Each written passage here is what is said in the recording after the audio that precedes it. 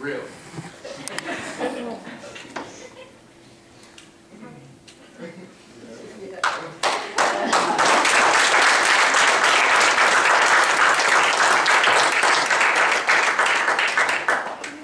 How do we help an orphan?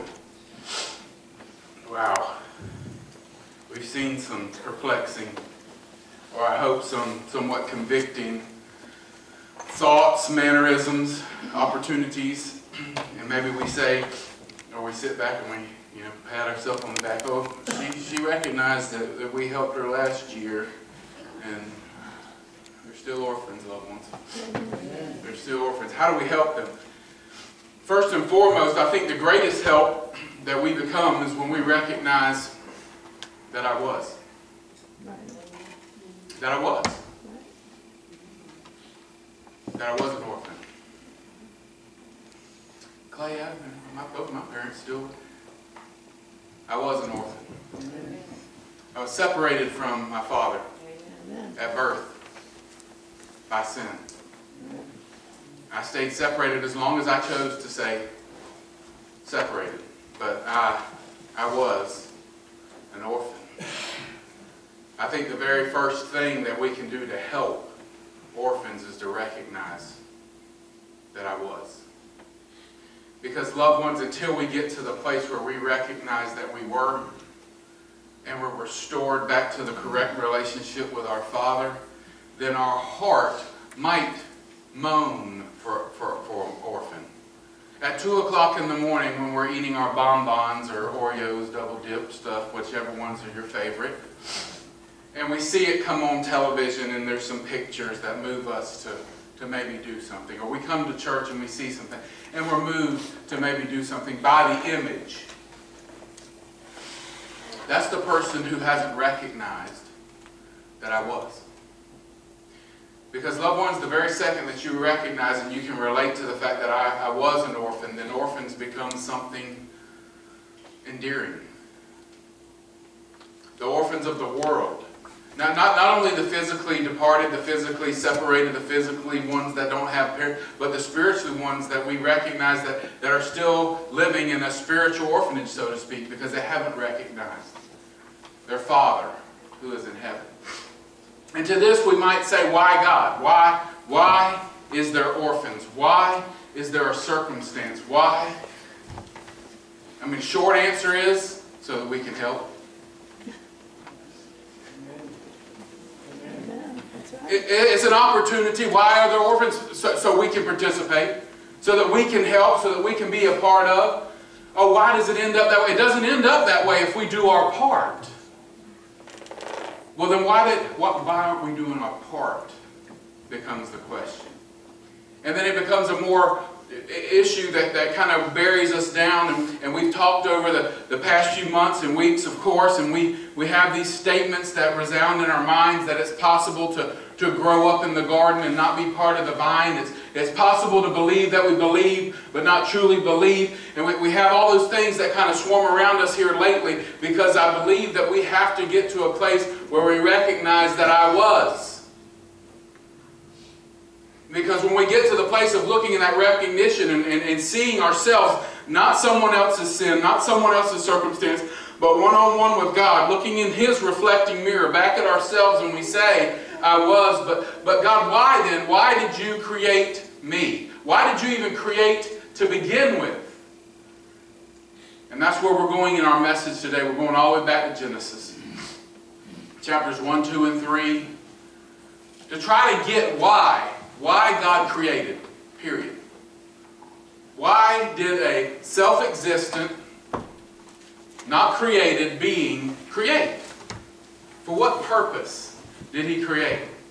Starts off with the things of the earth. Why? Why, why create the things of the earth? The sun, the moon, the, the expanses, the sky, the stuff that's put into to Genesis chapter 1 in the creation experience. Why create all of that? And then it moves on to us. Why create the very parasite, amen, that's going to, to, in fact, have to pin your son to the cross for their own redemption? Why create that parasite? Why create that thing that's going to latch onto you and need? And I believe we'll find the purpose in all of those things. And that will and that I pray that, that, that what we'll recognize within that on this this orphan Sunday, that, that, that within that, when we recognize that I was an orphan and we recognize that our Father God created us for a purpose, that we'll then have the heart that He has to reach out and to be with the orphan, to be a part of the process, to see these things as not overwhelming. You know, those statistics, they're, they're very overwhelming. The numbers that are out there are very overwhelming until we could take one person's wealth in the entire world. One! Now, it doesn't even have to be the richest man. It could be like the 50th down the line. Just one, one man, one, one individual, one person. His wealth could negate all those numbers. One person.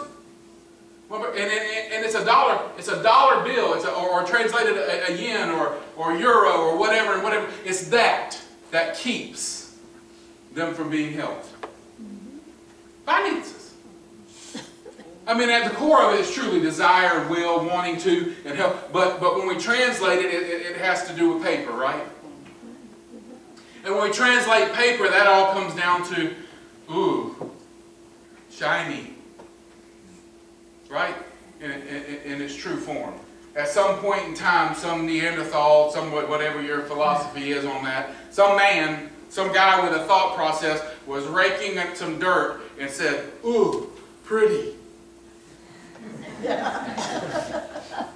and gave value to something that now we value everything based upon. How primitive is that? Ooh pretty. But we've evolved so much. we've gotten so far. When it's just a, a, a dollar, that, that's the difference. No, loved ones, I believe that the difference is, is the heart of the situation. What do we truly value? You see, in our culture, you've heard me say before, I, I do believe that we know just about the cost of everything. We know the value of very little. We have value systems that, that have been to totally skewed and totally messed up through our culture because it's this immediate thing that I want something now. You see, a value of something is recognizing that it takes time to build, it takes time to get, it takes time to harvest. You don't just go down to Walmart and grab a bag of apples. You have to actually prepare the land and plant something and do all those processes. We've gotten into this fast-paced world where we think it's me, me, me, me, me, and I can get whatever I want. And, and you see, we're raising a culture of, of children that can look at a, a sheet from Walmart that's a hundred count, and you know, I'm a man, y'all don't think I know about this stuff, but I can drop some knowledge on you. You know, we look at that hundred count sheet, and it's blue, and we say that one's five dollars, and there's a 500 count sheet over here that's a hundred dollars. They're both blue sheets. What's the difference? I think a man did that. the difference is, do you want to wake up blue or not? That's how I learned these things. but that's the reality is there's no value in anything. It's like if, if this thing can mimic, amen? If this thing can counterfeit or look something like what the truth is, then I'll accept it because by the first appearance, it, it looks to be the same. Oh, now you're getting to the message, Clay. Yeah. The problem is, is us in the church, we've accepted the 100 count sheet a lot of times. And we're blue all over. And we walk around our culture blue all over. But we've never said, I was. I was an orphan. I've never recognized the value of a true relationship with God. Therefore, I, I still hold on to what? Ugh, pretty. When it comes to a true need. A true need. A true need. We what we pull up to the gas station, what? Oh my God, is it really $3.67 a gallon? This is crazy. This is robbery. And we're filling it right on up. This is crazy. And then we pull it out, we pull in the Starbucks, and I'll have a mocha latte fag, it's skinny, shaken, not stirred. That'll be $7.95, okay? Do the math. 14 ounces of drink, how much is that a gallon? but we don't complain at Starbucks, amen? Our value system. Our value system. And believe me, gas is way too expensive. And some of you have never been to Starbucks, but uh, That's right. you know, I'm, I'm just trying to, to be real with you for a second. The things that we want, the things that we want to do, the ooh pretties of this world, we find a way to do it. Amen? And we'll still fill up our car if it's ten dollars a gallon. We will. So when we look at this dynamic and we talk about creation, what I want us to get the understanding of is this, this Father, this Father figure that we're going to recognize as we finally come to the, to the agreement. And again, I, you know, maybe there's someone today that will for the first time say, I'm an orphan and I no longer want to be. Maybe there's some, some of us out here that will finally make that connection and say, you know what, as I look at this scenario and as I evaluate it, that's exactly my experience. That's exactly where I'm at. I've never made that connection before, but, but I was. I was. I was departed from my Father, my Heavenly Father, and I did accept what He had to offer, and He did bring me back through adoption process through, through Jesus Christ that we'll look at today. And, and, and maybe, maybe that, that, that I'll have that connection then, and then we can look forward to an orphan Sunday where, where we are the bride of Christ, and they are our responsibility. Amen. And we can help. Guess what? Even this group can help more than that one village. Amen. What? Yeah, absolutely. One person's doing it on our behalf. Right. Amen. So let's look in Genesis. We're not going to read it all for the sake of time, but I think that some- the most of us have been in church long enough that, that we've gone through the creation experience or we've heard, and, and we'll get the highlights for sure. And you can go back and read it. It's, it's pretty, pretty good stuff, especially some of the high points that we'll point out today that maybe, maybe you've never really looked at before. You know, it starts out with our understanding of God and the Holy Trinity, the Father, the Son, and the Holy Ghost. If there was an us in the creation, we have to understand the us, right? Because when God, after God created all the things, He said, "Let us create man in our own image." He gave it us, so so we don't want to just bleed by that and, and, and run run on past and, and say, "What is the us? What is that dynamic? What is that situation?" Well, we want to have an understanding of that because that's what the Bible says. The Bible uses a pluralistic statement when it talks about forming man. And if we're going to say, why God, why you create me, why am I alive, we must go back to that initial thing, right? Because man kind of created himself, so to speak, through procreation after the initial creation, right? So there was an initial creation, and we want to look at that initial creation to get the why of God, because beyond that, man's kind of procreated. Man doesn't create himself, he procreates. He takes what's already there and then uses it because God designed us that way to be able to procreate. So we want to make sure that if there's an us, is there the participants of the Trinity in that, in that opening statement, in, in this opening creation?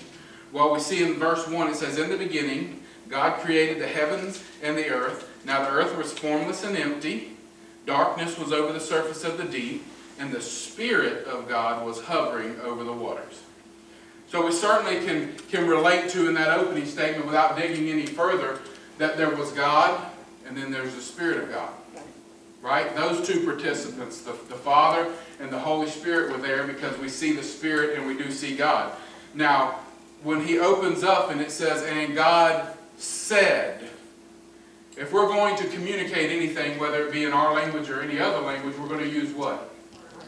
Words. So when God said, we pick up in chapter 1 of John, where the Word was God, was with God. Okay, so all of our Sunday school lessons, hopefully we're moving along the same pace. If not, write down John chapter 1 and read John chapter 1, and it'll help us to understand this, this and God said. And if God said, He's going to use the words. Because God didn't have to say anything. Do you get that? God could have just, Yeah. right? Okay, so if he's the creator of all and he's this almighty power, then the Spirit was hovering, then the Spirit could have went through and without saying anything, but we see that he said because the three participants are there. The Father, the Son, and the Holy Ghost. All three of them. Now we've broken this down on Wednesday nights and some other studies and everything else, and this is certainly just a quick view of what that looks like as far as the Trinity when it comes to our understanding of their participation in the Godhead. Okay, and, and this is something that we're trying in our finite minds to understand an infinite being. So is it going to explain everything? No, but I believe it gets us on the right track. I believe if we look at God the Father as the planner, the planner, He's the ultimate planner. He has this ultimate plan that He's going to work out throughout. So if we're going to say why to God, why did you create? We're going to be really speaking to the planner. We get that? Mm-hmm. We're going to be asking that question of the, the planner. But, but there's a great portion of that question that's answered in the plan. Jesus Christ, we say the Father, the Son. The Son is the plan. The planner, the plan. There's great revelation in what the plan is to help us understand why God created us. But the problem is, is too often we're blocked off to that, especially before regeneration, before accepting Jesus Christ our personal Savior. We're blinded to some of those truths. Mm -hmm. Most of those truths. So then we have the, the work of the Holy Spirit, which is the revealer of the plan. Okay? So it gets us, I believe, it's again, it's a quick view of, and we, we could certainly study it more on Wednesday nights and have gone more in depthly, but just to get us on the right page as we move forward, we have the planner, the plan in Jesus Christ, and the revealer of the plan in the Holy Spirit. Because there's nothing that you've understood and accepted about God without the involvement the Holy Spirit. That's right. Okay? How do we receive Jesus? We've looked at that back at Christmas last year, I believe. How do you receive Jesus? The same way Mary received her, received him. And how does she receive him? The Spirit of God. Right? Hovering much like he's hovering here. Okay, so we receive Jesus the same way that Jesus always been received, through the Spirit. By that revelation. And again, we could go weeks into that study. But we're on the right track, I hope. The planner is who we're requesting from why God, why create. We see a lot of his answers in the plan as revealed by the Holy Spirit. So we see chap chapter 1, verse 3, verse 6, verse 9, verse 14, verse 20, verse 24. There's this statement, this rhetorical statement that's going, and God said, and God said, and God said, and God said.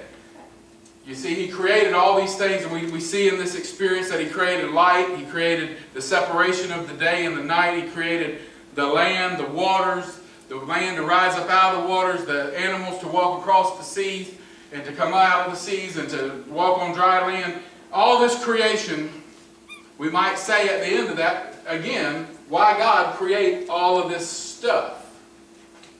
And the beauty is in the answer of because you need it. Because I because because I need it. God created everything that human needed before he even created the human. All the world, all the land, all the things that we walk around and inhabit and, and have dominion over, and the uh pretty that controls our lives. All those things were created in essence by God to begin with so that we had a place, a sustenance. So all that we need physically was created before we even came in. But the beauty of this and God said and God said is, is that in our English language sometimes we miss some of the, the truths of the scripture because it just uses this word God and then we might miss over that or, or just look over in chapter 2 when man's being created that, that there's a Lord God, not just a God. And I promise we're going to bring all this in. This is a whole lot of facts that we have to get to get to the core of what the message is this morning because I don't want us to be ignorant in our approach. And sometimes some of these things, though they're revealing, they're not quite as exciting as some of the truths that will be revealed later in the message. so we have this, and God said, and God said, and God said. Well, if we understand the translation, God, this word, and God said, and God said, is Elohim. It's Elohim. Elohim is creator. Elohim is, is this magical power, this, this, this beyond, pre-existent, doesn't have an existence, never has a starting or a beginning or an end, doesn't have any of those things. He is simply the creator the creator of it all. And what we do is we recognize that no matter where you're from, no matter what culture there has been found in the deepest, darkest tribes of Cambodia or anything else, that they all recognize what? A supreme being. Right. They all recognize, whether it be by totem pole, by rings in their nose, by stretching their necks, by whatever the dynamic is, all those purposes were because they recognize a supreme being. They recognize this, this Elohim. This Elohim. Loved ones, Elohim's not Abba. Though there is only one, Elohim is a recognition of a supreme being. And the reason that he wasn't recognized as Lord God, which Lord God translates to Jehovah or Yahweh, is a different word because there's a different understanding of God. Yahweh or Jehovah, Jehovah is my provider. My provider. Yahweh is personal God, God that I can have a relationship with. You see, the very beauty of the Scripture is that God wasn't a personal being until there was something to be personal with. You see that beauty in that transition? Creator, creator, creator, created all this thing. Now we're getting to the message. Now you can wake back up and listen. So when we get to this place, we have God kind of participating in the creation. This God the Father, this the, the Elohim, almost off into the to the side and, and, and, not present, so to speak. It's just He said. Do you get this? He said, and He said, and He said. But when it came to man, when it came to the creation of man, He steps out of this ambiguance. He steps out of the darkness, so to speak, and instead of just using his voice, what do we see in man? That he comes down on to this thing that he spoke into existence and starts to gather up those things. Now, God could have said, Let there be Adam. And guess what? There would have been Adam. But there's something different about the way he spoke everything into creation, all the animals, all the things, and then the way he created man. There's a difference between that. And we have to get that because, because aside from that, we have what we have in our culture where there's almost this worship of animals, worship of property, worship of, of land as if they're not as viable as the human. God separated the human being from all of those other things. Now, does it mean that we disrespect animals, disrespect the land? Dis no, he gave those things to our care. But by no means are the animals or the trees of the field equals to us in God's eyes. Don't miss that. It became very personal to God. He came down and, so, so to speak, got his hands dirty when it came to creating man. He came down and he started to form this stuff. He moved this, and, he, and let's make it in our image. And there's this molding and making. But there's no life. There's no life. There's just this molding and this making.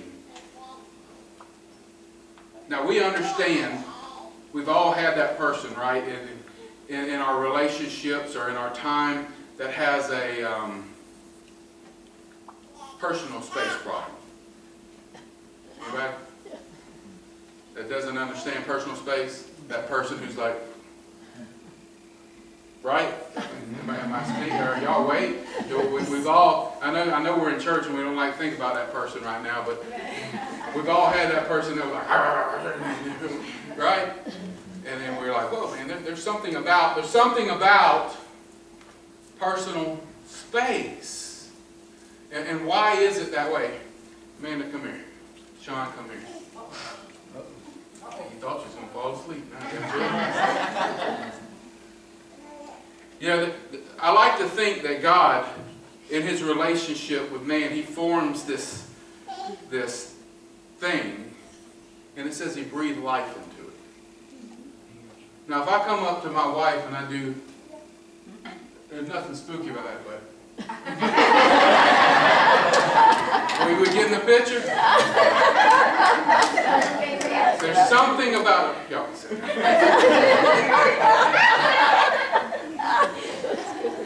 There is something about personal space that, that what? It has something to do with intimacy. Proximity has something to do with intimacy. Wouldn't we agree? Okay? So intimacy says that the closer you are, the more intimate I am with you. The more intimate I can be with you by proximity. We understand that. Let's even do it from, from a different point so we don't scare you to death anymore. is we understand that, that distance is about like that. We're okay with that, right? We can have a conversation with somebody like that. But we but we don't have a conversation with, hey Maxie, how you doing? And then she's, yo, oh, I'm doing fine. Oh, that's great. How's your mom and them? We do understand that there needs to be a closeness, right? But there is there is proximity issues when it comes. But what we see about God, the beauty of this, and what I want us to get about this, is that He comes down forms. So when this, when this man who had never drawn air before, who had never seen anything, opens his eyes for the very first time, what he sees.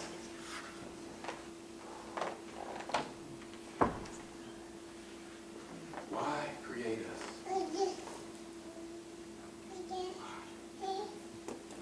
Closeness, personal relationship, intimacy, intimacy.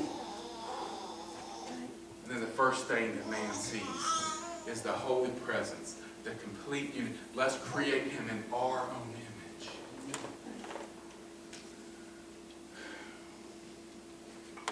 Not God said, God said, God said, God said, God formed and created. So there's something about us and intimacy. And intimacy meaning proximity to God, right? It doesn't get much more intimate than that. Like there's a short list, loved ones, of people that I want to.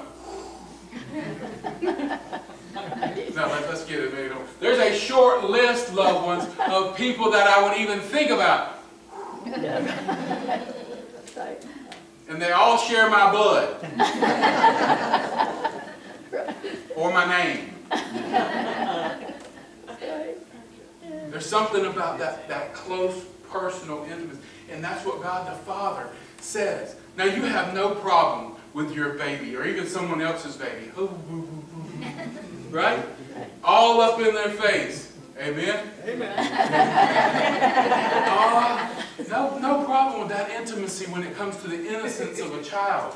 When it comes, and that's what God's saying in that orphan situation is, is closeness, proximity is a necessity. That's why I created you.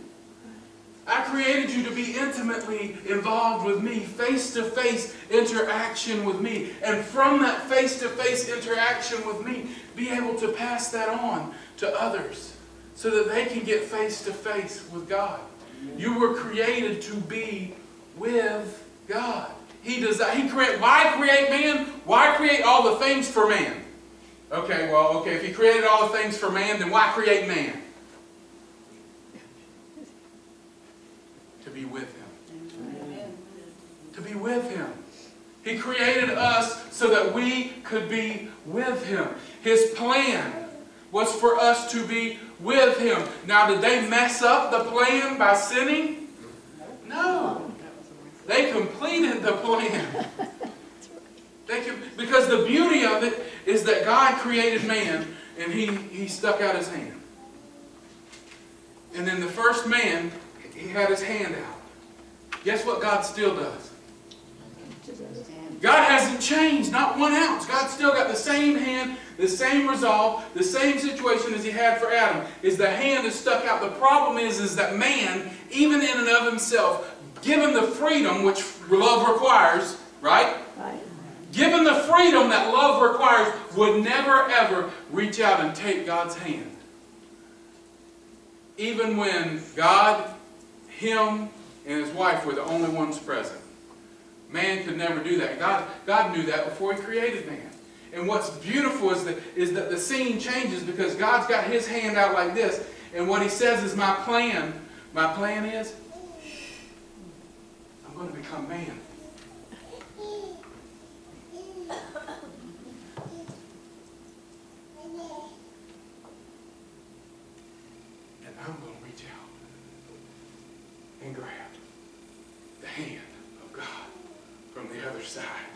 To make the connection for man forever, for always. That's my plan. My plan is to extend the hand that I know they won't grab. And then come like them and grab the hand that I knew they would never grab so that they can, in essence, through him, be with me. Amen. Amen. She's going to bear a son. His name will be called Jesus. Emmanuel. Emmanuel, which means God with us. with Us. me. Why did God create man? To be with him. To be with him. Why did Jesus have to die? So God could be with man. Why did Jesus come to earth? God with us. God wants to be right there.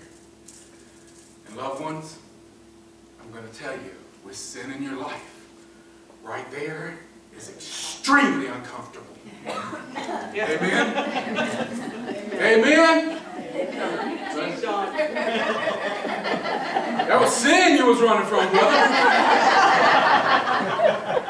It's uncomfortable because we know. Why? And then it's the same dynamic. What happened to Adam and Eve when they first sinned is they felt fear of God. They felt not, not what God intended. God hadn't changed. God was still walking in the garden. He was still presenting himself like he always had. Matter of fact, I believe that God, we talked about this a little bit Wednesday night, I believe that God was coming into the garden to give the good news. You've sinned and I knew you would. But I've got a plan. But I've got a plan. What does he say? I'm going to put enmity between your seed and her seed. Whose seed? The virgin seed. Her seed. Her seed. He's going to crush your head. But you're going to cause him, you're going to inflict pain. You're going to strike his heel. But the ultimate and irreversible victory was won way back in Genesis. Let's read it. So you don't think I'm just going into some Sunday school fairy tale. Chapter 3,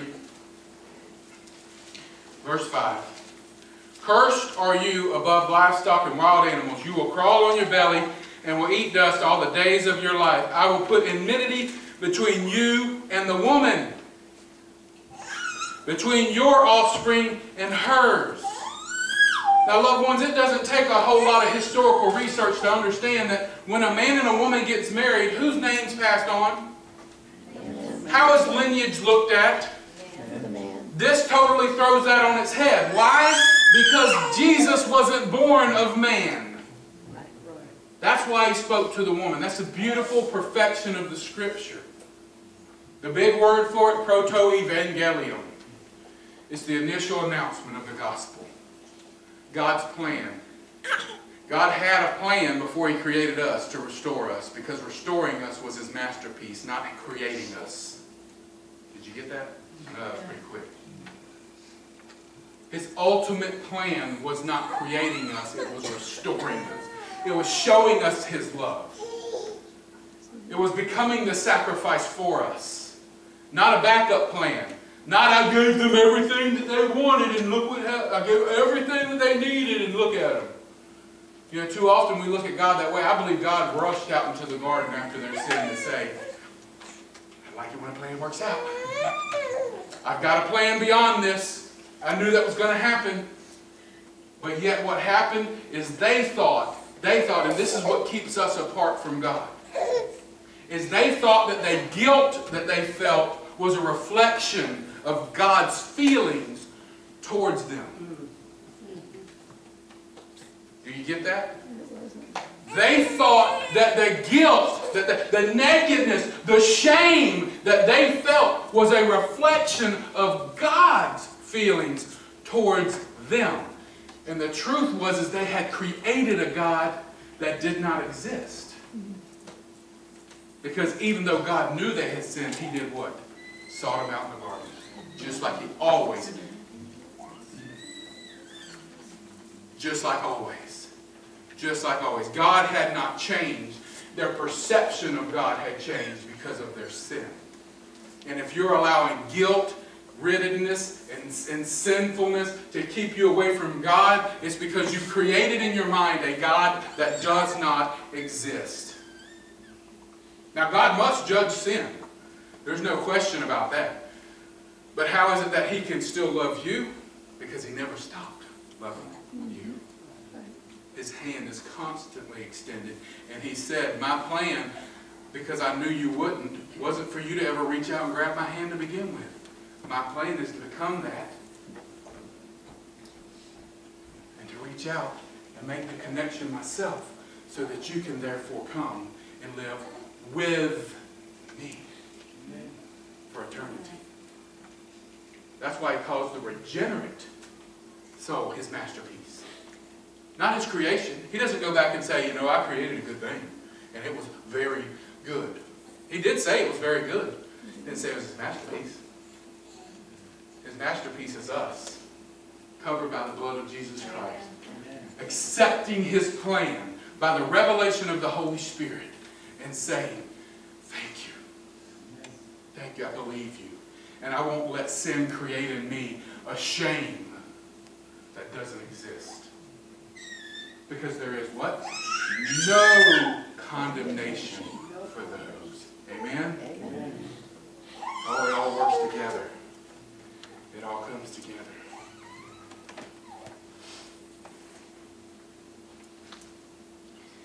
And the beauty of all of it. Now let's work on this, this other thought real quick. The God that they had created is prevalent in our culture. That judgmental, zap you down, beat you down God. Now, Clay, I hear you. Don't don't get to that place where you're just preaching a good, warm, fuzzy, feel good message. You, you it, it is warm and fuzzy to know that Jesus Christ died for my sins. It is warm and fuzzy to know that God wants personal intimacy with me. It is warm. Those things are real and they are true. They take action on my part. But that God that's out there that keeps people at a distance, that they think they allow their shame to be equivalent to how God feels about them, that they've created a God that does not exist, I will preach against that too because it's a lie. Amen. God loves you because He is love. Amen. How do we get that? What, how, did, how did they act about it? Let's, let's, let's see their actions. Did they act like what God said was you don't eat of the tree of the knowledge of good and evil, right? You don't eat of the tree in the middle of the garden because it's going to give you that knowledge. And you will surely. But they responded as if he said, I'll kill you. You get the difference? You get the difference? What's the difference? Guilt. My shame equated to God's. He said, You will surely die. And that's a fact. That's what happens to us in sin. But it's not that God kills us. He didn't say, I'll, I'll kill you. And they were scared of him because why? He's going to kill me. People scared of judgment because he's going to kill me. Well, maybe not to the level of kill me. He's going to judge me. He's going to want me to do something different than I want to do.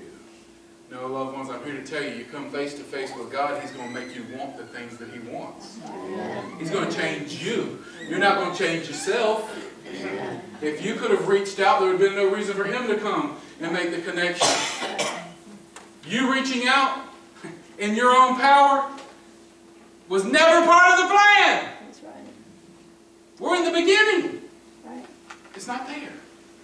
You doing it, you being capable of doing it, it's not even a part of the plan. But yet we spend our whole lives doing that, right?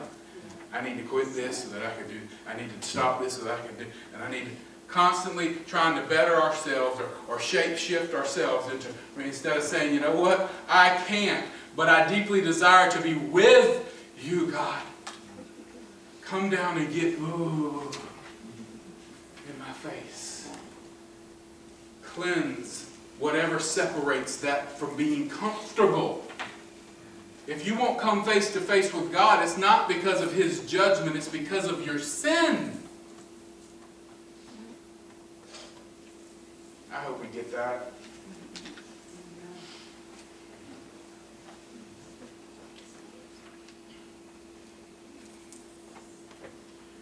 Let's make, we'll wind this up because we're going to do communion also, which I think is a vital part of recognizing being with God.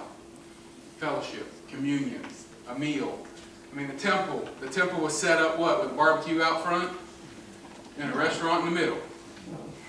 Amen? Table of showbread, food going on, constant smell of barbecue out front, right? Amen. You like you like that temple, right? Oh, the sanctuary. But that's the reality. There's something about fellowship and communion with one another and having a meal together that has a closeness. Now, we've lost that a lot of times in our families, in our fast-paced world. That, time to sit around and just have fellowship with one another. But even in the Ten Commandments, we recognize, now, as we talked about these dynamics, we recognize that affections is certainly a part of a relationship, right? In closeness, proximity, this affection. And to be closeness and, and, and together, this, face-to-face thing, it, it takes an act of the, of the body, the flesh. That, that you, you have affections that are emotion, you have body that's the flesh, you have words, right? We have words that we want to speak. We speak different words about those we're affectionate with, right? Than just the general public. Is that, am I crazy? No, wait. We speak different words about that, right? And then we spend time with. So we recognize what? Affections, body, words, time, right? Affections, body, words, time. They have to do with relationship. Let's look at the Ten Commandments. It's in Exodus chapter 20 if you want to flip there, or you can just listen. I am the Lord your God who brought you out of Egypt, out of the land of slavery. You shall have no other gods before me. Affection? Anybody? Am I crazy? Affection? I'm to be esteemed above all others. Affection? You shall make for yourself, and you shall not make for yourself an image in the form of anything heaven above or on the earth beneath their waters below. You shall not bow down to them or worship them, for I, the Lord your God, am a jealous God, punishing the children for their sin and parents to the third and fourth generation of those who hate me, but showing love to a thousand generations to those who love me and keep my commands. Still see the affection? No other gods before me. That's the first commandment. Affection. Affection. You shall not misuse the name of the Lord, your God, or the Lord will not hold anyone guiltless who misuses his name. So we see affections, we see the body and, and not making an image or graven image. We see these words with not using, misusing the name, not vocabulary, not to misuse. And then he talks about time when he says, remember the Sabbath day and it's holy. So he's saying, in the, even in the commandments, there's an outline of your affections, your physical body, the words that you use, and the time that you spend. Am I going out on a limb? So even in those commands, those first four commands deal with your relationship with God. The rest of them deal with your relationship with each other. But first and foremost, we have to have our relationship with God. We must have affection to God. We must surrender our body to God. We must allow our words to be used by God. And the only way that we can do that is by spending time with God. Because we spend time with those that we love, with those that we hold in esteem. We spend time with them. Now we've made a connection where we agree that this closeness, this proximity, this face to face, right? Let me see you face to face. This face-to-face -face interaction has to do with with me, that we were created. Did we get that summation out of, out of Genesis and what we talked about? There's this with me persona. Uh, did we get that? And then as we move past that, that with me in Genesis, we fast forwarded to Emmanuel, right? With us. So there's kind of a strand, there's kind of a connection. And Clay, if you could give me something out of Revelations, then I'd believe this whole story. Okay. Revelations chapter 23. If you get there, then you have a Bible that's wrong. There is no 23. I had to figure out a trick. Chapter 21, verse 3. I was just seeing if y'all was really turning, if y'all just, I wish you'd get done with this.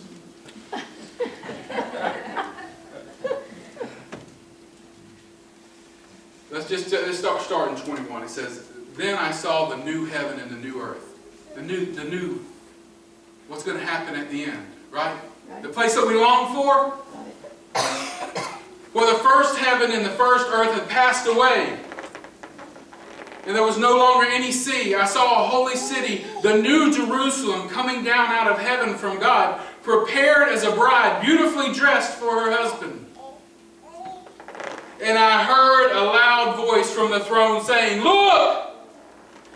God's dwelling place is now, depending on what translation you have, it's either among or with. God's dwelling place is now with the people, and He will dwell with them. They will be His people, and God Himself will be with them and be their God. His ultimate plan at the very end Right. is to be with us. Amen. Now, as we come to celebrate, if I could get our ushers to come on down forward so we can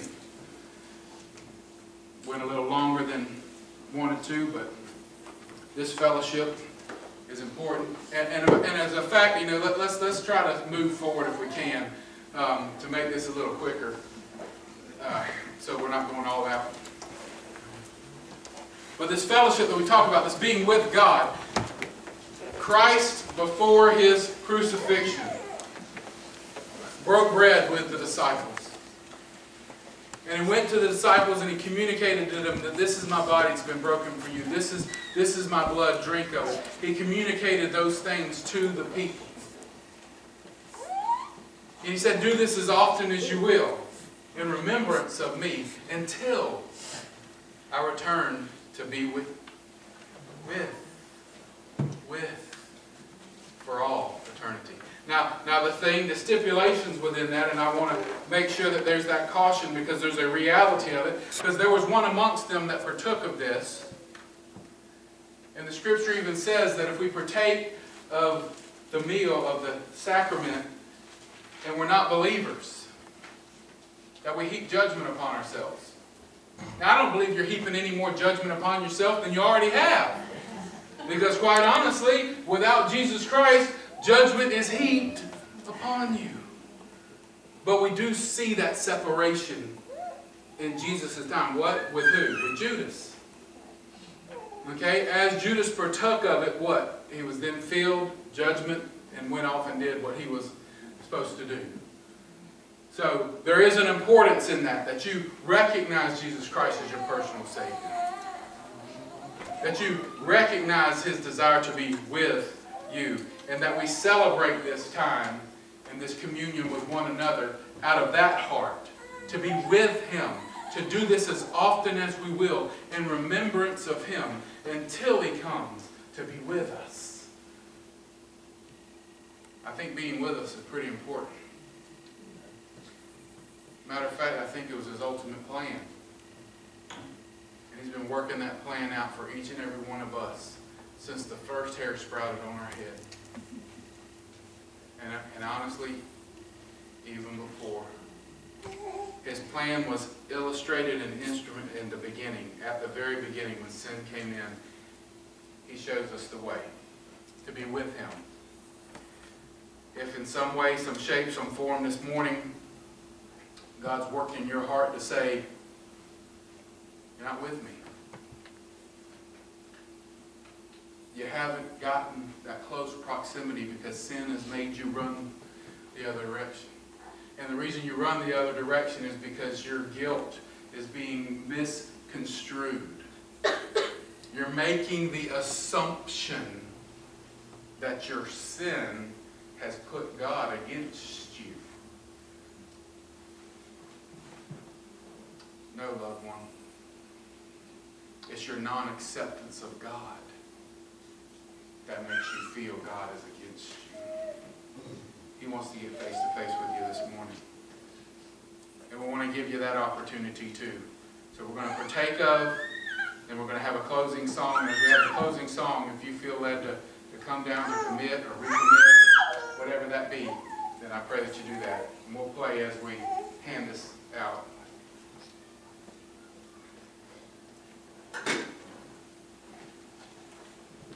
Thank you.